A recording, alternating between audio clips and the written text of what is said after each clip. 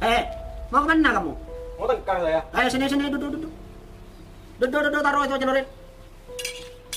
Oh, masih muda sudah mau carok-carok kamu. Dengar ini nih. Orang Madura itu memang dikenal keangkuhannya. Tapi kalau orang Madura, akhlak sama tingkah laku kita yang didulukan. Bukan celurit. Tapi kalau sekiranya kamu ini anak muda, harga diri kalian itu kalau sekiranya indah-indah, baru dah kata Madura Carlok itu kita beragakkan. Ngerti kamu? Kamu ngerti? Ngerti. Sekalin tontonan.